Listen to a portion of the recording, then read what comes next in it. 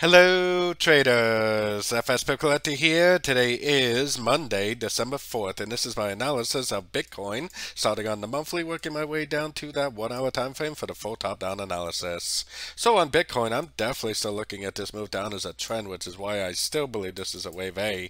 I still believe this move up is a three wave pattern, which would be a wave B. I think it's going to turn at the 50, which I have been saying for quite a while, the 50 is very likely, or possibly the 61.8 and end up going back down to make a wave C. I still think it's going to go down, take out these lows someplace around the 12 to 8,000 dollar area to finish off a wave C before it really does end up continuing the uptrend. So that way it can trap everybody in a buy right now and then it will go down, trap everybody in a sell, and then it's probably going to continue the uptrend from there. So taking it down to the weekly time frame, on the weekly, I personally think it's very clear that this move over here is a one, two, three, four, five wave A. I also think it's very clear this is one, two, three waves down wave B, and this is an uptrend right here for the wave C.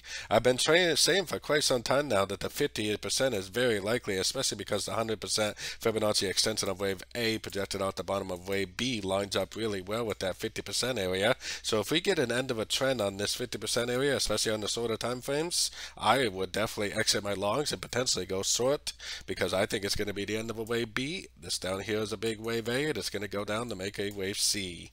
So let's take it right down to the daily time frame. Daily time frame, I can even make out a 1, 2, 3, 4, 5 shape.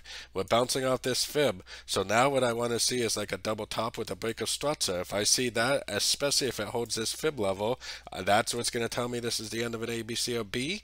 And that's what will turn me into a seller. Until I actually see this picture right here, I would actually still be looking for longs on shorter time frames. Going down to the 4 hour time frame, like I said, we do have a little bounce right here, but I don't think it's the end of a trend yet because this looks like a 1-2. So this would, if anything, be a 3. It would probably have to make a 4 and a 5, that double top. Then break structure to the downside is what would tell me that this is possibly the end of a wave B and the continuation of the downtrend. So taking it right down to the one hour time frame. One hour time frame, really one of the things you could be doing right now is putting your Fibonacci retracement on this move up because we probably are going to at least make a wave 4 correction, which would most likely be at least a 38 or 50% retracement of this move up. And then I would expect to see at least one more push up for wave 5. And then if we get a holding the 50% still with a breakup structure to the downside, like I said, that's what's going to tell me we're looking at a wave B. If we never see this picture, if it never breaks structure to the downside, I would actually continue to look for longs because it could potentially go beyond this 50%, even up to the 61.8, and who knows, maybe it'll go a lot further than that. So either scenario, I am looking for longs, at least until I see this picture right here with a breaker structure to the downside. So don't forget to join my free Discord channel. The link for that is on the screen and in the description. Thanks and happy trading.